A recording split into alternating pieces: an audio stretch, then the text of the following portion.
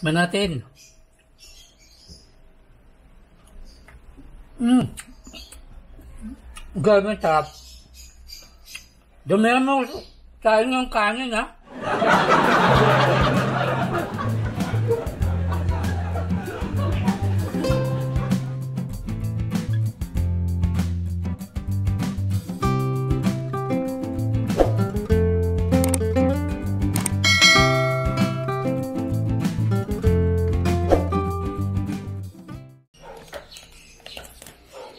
Hi guys, ngayong araw na ito magluluto tayo ng bopi. Itong ating baga guys, pinakuluan na natin to kanina sa asin, pamintang buo at luya no. So ngayon inihiwa natin. At yung iba pinapagiling ito, yung iba tinatadtad no. Pero mas prepare ko ito guys oh. Hinihiwa natin ng ganyan kasi nangunguya natin, nagiging chewable siya. Napakasarap. So madali lang naman maghiwa. Para sa ating ibang ingredients, meron tayong garlic, onion, tomato, gamit tayo ng pinatuyo, daon ng laurel, gagamit din tayo ng bell pepper, hiniwa natin ng paganito, pahaba, gagamit tayo ng red and green chili pepper. Yung green, hiniwa natin, no? Tapos itong dalawa, tsaka itong isang green, paik-ek natin yan, no? Gamit tayo ng soy sauce, vinegar, ting nato powder, pampakulay natin. Meron tayo rito carrots, labanos. Gagamit din tayo rito ng oregano, pampatanggal ng ano niya, anggo. At ang ating pampasarap, magic sarap. Gagamit din tayo rito ng paminta. Tara na guys, simulan natin magluto. Mag-isa lang tayo ng bawang. Halu-haluin lang natin hanggang sa mag golden brown. Then pwede na natin sunod yung ating sibuyas. Luwaluin lang natin ating sibuyas hanggang sa mag-translucent siya, no? Huwag nyo antayin na mag-transparent, no? Iba yun, hindi mangyayari yun. Masusunog lang yung ating sibuyas. Pwede natin ating kamatis. Halu-haluin natin, pisak-pisakin natin para mabilis siya maluto, no?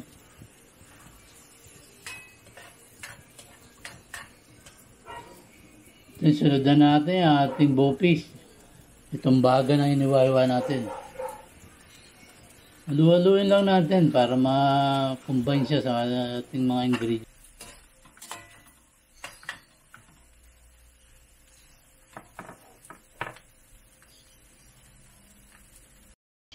Nilagay na natin ang ating daon ng laurel. Taktakan na rin natin siya ng paminta. Taktakan na rin natin ang oregano.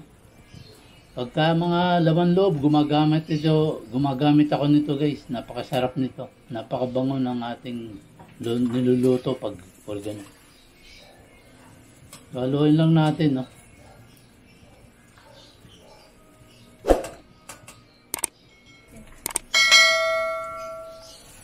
Maglagay na tayo no, ng suka.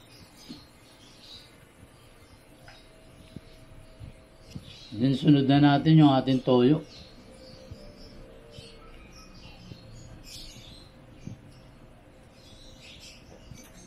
Yan muna natin siyang kumulo, no? Huwag nating haluin. Pasingawin muna natin yung suka.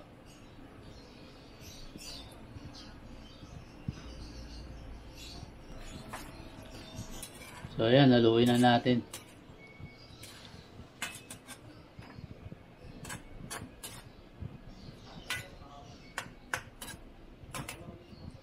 Nilagay natin tong ating anato powder, no? Pampakulay.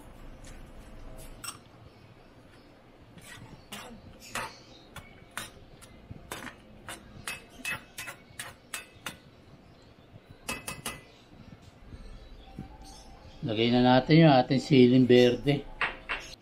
Haluhaluin lang natin.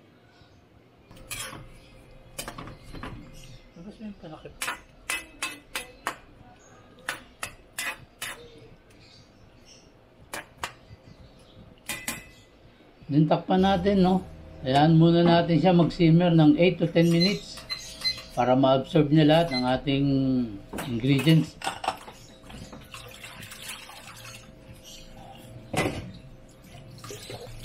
Ito na guys, mix lang natin saglit.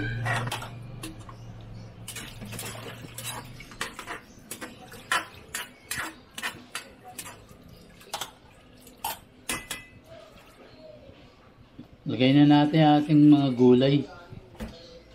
Natin ang carrots. Tsaka itong labanos. Magdadagdag asim din itong labanos guys. Masarap kasi sa bopish yung maasim-asim. So haluin lang natin.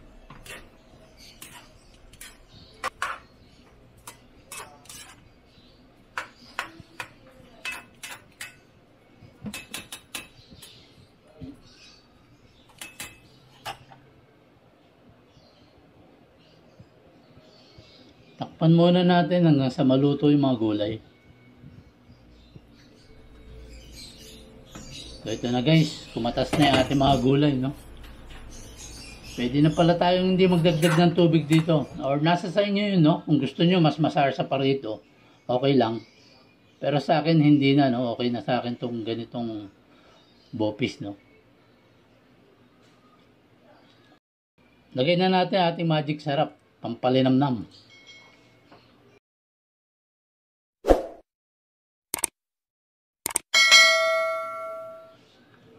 So, haluin lang natin.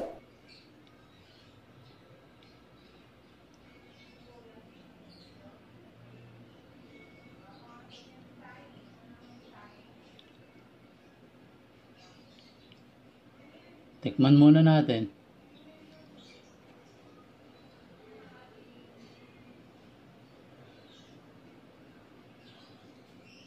Dagdag tayo ng siling berde, no? Kulang sa sipa. Nasa inyo no? Kung gaano ka anghang ang gusto nyo, no? Kaya importante, tinitikman natin yung ating mga niluluto.